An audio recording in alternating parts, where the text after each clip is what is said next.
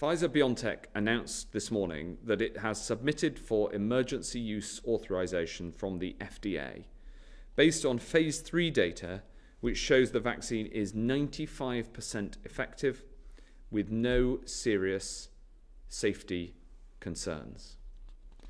Here in the UK, the first step of authorising a vaccine is for the government formally to ask the independent regulator, the Medicines and Healthcare Products Regulatory Agency, or MHRA as it's known, to assess its suitability. The MHRA, which acts for the entire UK, is one of the world's most respected regulators.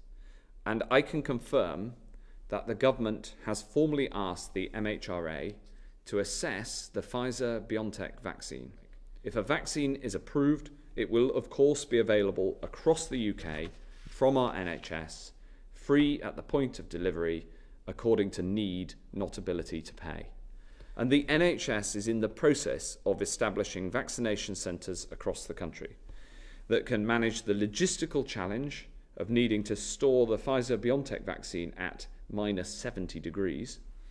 In addition, it is establishing vaccination hubs in hospitals for NHS staff.